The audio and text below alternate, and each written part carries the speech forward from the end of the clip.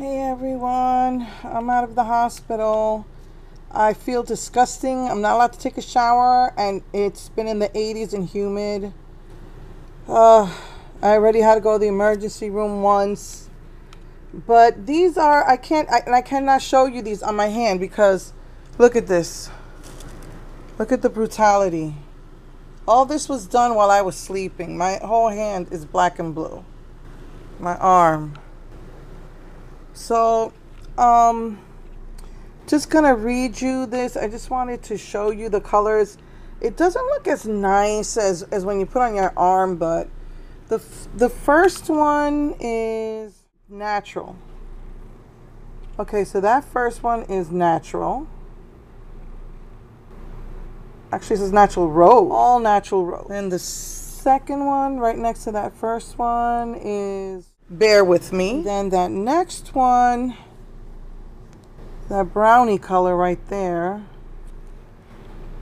nutritious. And then the next color ne next to nutritious, this one is called coral. And right. the next one right here, that like pinky, rosy color, it might be rose, let me see. Yes, dose of rose.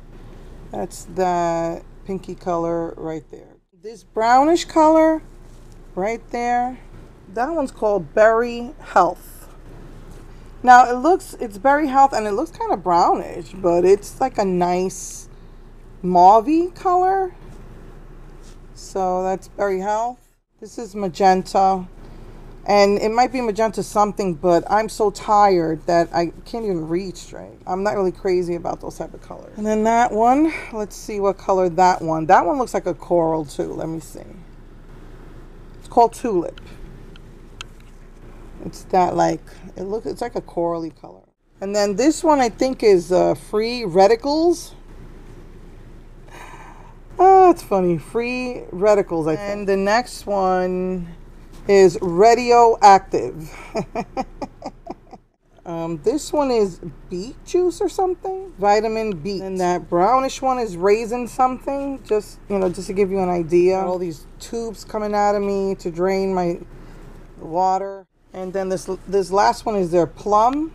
Don't know the whole name of it, but it's plum. And I tried as best I could for you to see the white. I don't know if you can see it. It's like a pearl color. And I'm really cra- not crazy about this, but there's no way I can swatch these. Both sides of my arms are a mess. Okay, that it's actually called opalescence. Um, okay. Alrighty, guys, I am just wanted to show you this. I'm trying to do the swatches and then put it away for my doctor's appointment tomorrow when I'm doing my makeup. Alright, love you guys. Bye.